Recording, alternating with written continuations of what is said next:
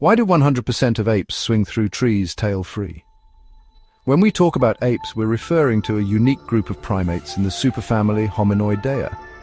Unlike monkeys, apes have no tails and boast larger brains and more complex cognitive abilities. Now, let's break them down.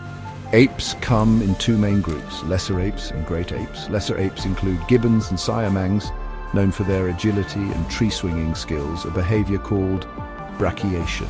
Then we have the great apes, orangutans, gorillas, chimpanzees, bonobos, and yes, humans too, that's right. In modern taxonomy, we are classified as great apes.